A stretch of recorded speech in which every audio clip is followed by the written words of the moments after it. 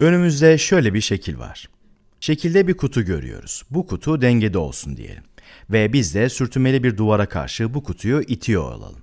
Yani kutuyla duvar arasında bir sürtünme var. Kutuya büyüklüğü F ve yatayla teta açısı yapacak şekilde bir kuvvet uygulayalım.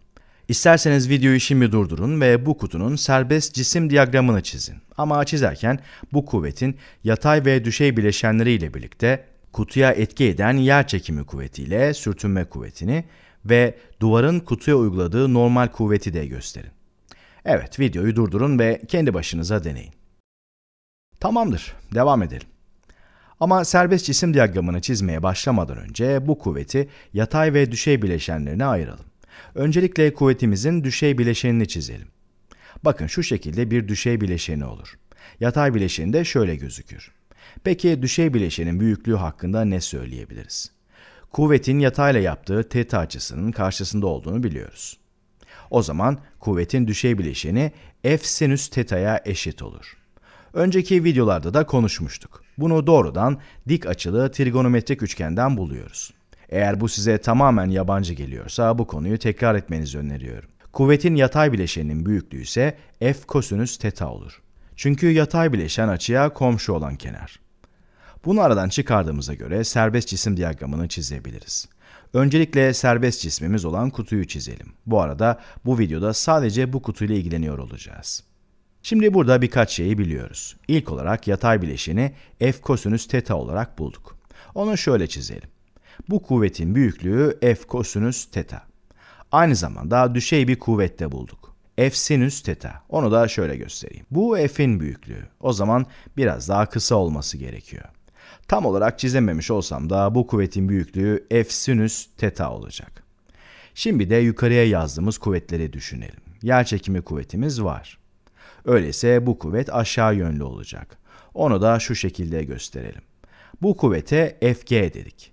Üzerine ok koymuyoruz çünkü burada sadece vektörün büyüklüğünden bahsediyoruz. Yukarıdaki gösterimde bütün vektörü ifade ediyoruz. Yani hem büyüklüğünü hem de yönünü. Peki sürtünme kuvvetini nasıl göstereceğiz? Diyelim ki uygulanan kuvvetin düşey bileşini olan F sinüs teta'nın büyüklüğü yer çekimi kuvvetinin büyüklüğünden küçük olsun. Bakın böyle bir durumda sürtünme olmasaydı kutu aşağı doğru ivmelenmeye başlardı. Çünkü net kuvvetin yönü aşağıya doğru olurdu. Sağa ve sola doğru olan kuvvetlerden bahsetmedik henüz ama aşağıya doğru olan yer çekimi kuvvetini dengeleyecek kuvvet daha küçük olacağı için net kuvvetin bir kısmı aşağıya doğru olurdu. Ve bu da kutunun aşağı doğru ivmelenmesini sağlardı. Ancak dediğimiz gibi bu kutu dengedeydi. Dolayısıyla sürtünme kuvveti harekete ters yönde etki edecek. Yani bu durumda sürtünme kuvvetinin yönü yukarı doğru olacak. Onu da şu şekilde yukarıya doğru gösterelim.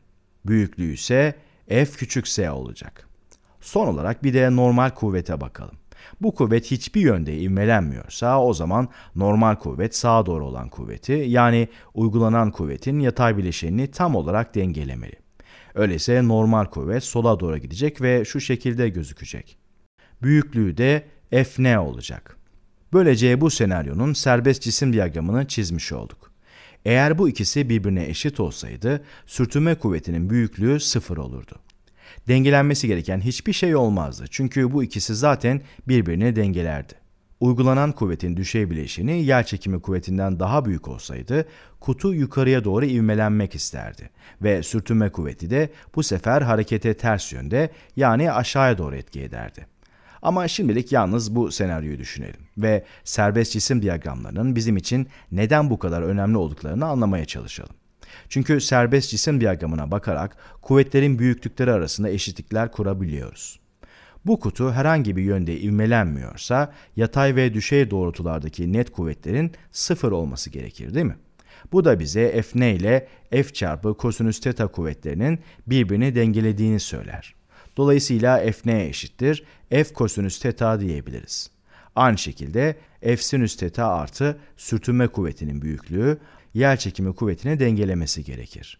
Çünkü birbirine ters yönde olan kuvvetler. Öyleyse bunların toplamı fg'ye eşit olur. Eşitlikleri bu şekilde yazdıktan sonra biri hariç diğer değişkenleri biliyorsak diğer değişkenleri kolayca bulabiliriz. Bu da fizikte çok işe yarayan bir durumdur.